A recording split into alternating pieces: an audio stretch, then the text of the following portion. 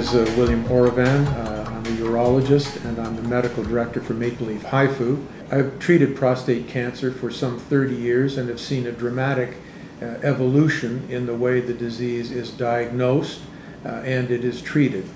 Uh, one of the benefits of modern medicine is that we tend to diagnose diseases before they become clinically evident, that is, before the symptoms are detected.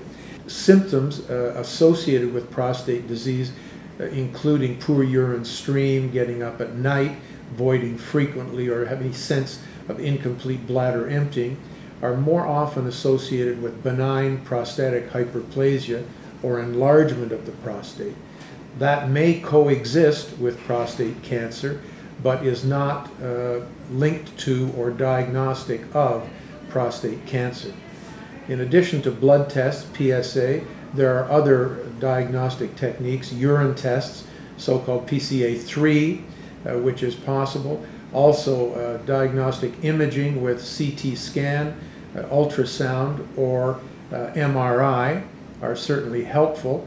The definitive diagnosis is made by transrectal ultrasound guided biopsy.